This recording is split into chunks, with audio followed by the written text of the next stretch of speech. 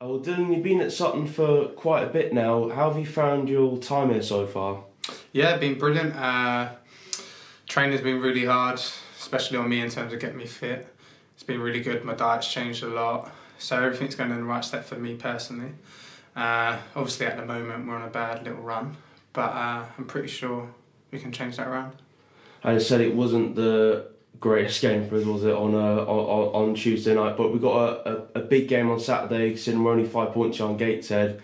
We still got a faint chance of playoffs. If we can win that, we can get a run together, and, and that could that could put us in the right direction for the last bit of the season. Yeah, exactly. Uh, it's all down to Saturday. If we win Saturday, the whole mindset of everything, the whole table changes.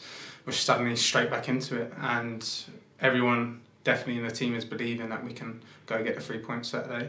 Uh, I'll tell you now, there's no one in there who don't believe we can do it. Obviously, we have to turn up and get the result, but uh, we all believe we're all out there training.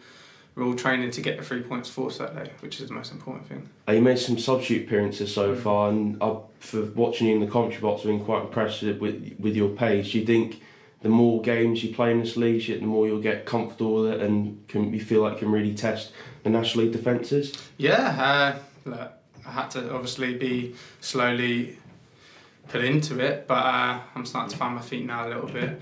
And the more minutes, the more time I get, look, it's only a matter of time, hopefully, before I score. I need to score Tuesday again. Uh, it's just, like I said, a matter of time. And then once I get my first one, hopefully I can keep the momentum going for the future.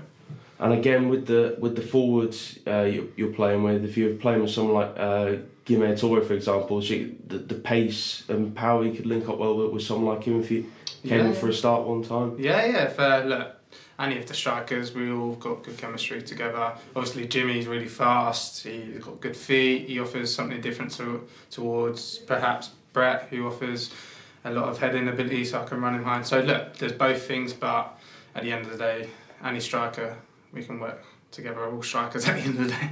Also, have you found uh, working with the, the coaching staff, obviously you touched upon your teammates, but the, the Paul Doswell and, and the coaches we got got here at Sutton United? Yeah, been brilliant, uh, especially Matt obviously does a lot of the training. Matt's been brilliant with me working on.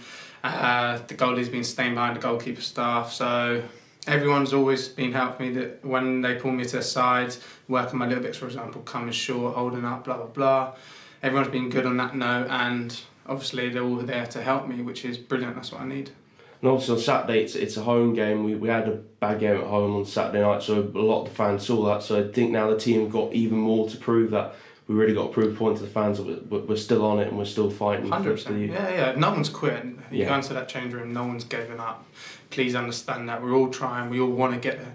Like at the end of the day, I came three leagues below it'd be amazing if we get playoffs. Yeah. Do you know what I mean? Everyone's got their own. Everyone wants to play at Wembley. Do you know what I mean? Yeah, Whoever turns down that option is silly, and Gaffer's made it clear that's where we want to be. We all know we need to get there, so we start Saturday fresh in our heads. And if we can get results Saturday, it'd be a brilliant step forward to go get the playoff. Have you got any little personal loans for these last few games of the season? Yeah, well, I definitely want to open my accounts Saturday if I can. If not, next game. After that, I do want to get a start, get a few minutes. I want to get a few runs into into the team, and then hopefully a few runs, be more goals, and then more wins. Most important thing. But then yeah, that that's my target. Get a goal, get a start, get three points. that's it. Uh, Dylan, thank you very much for talking to SUFC TV and uh, good luck for Saturday's game Brilliant. Thank you. See you there.